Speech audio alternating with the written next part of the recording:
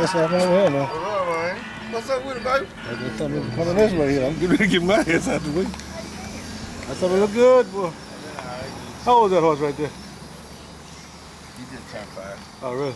Look out, Dre. I'm just not know who this is. Yeah, that's bad. That's a bad place to ride a horse right there. Yup.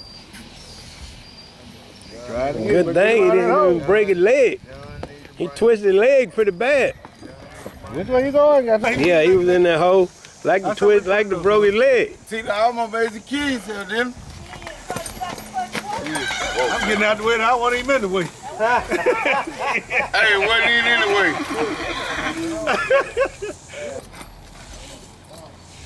That's how we put it, though, boy.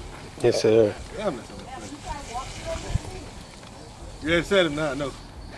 Uh, gotta get a little bigger, get my big ass up on it. I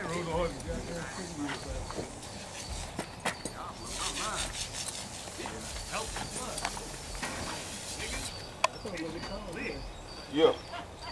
Yeah, he just baby. Ah.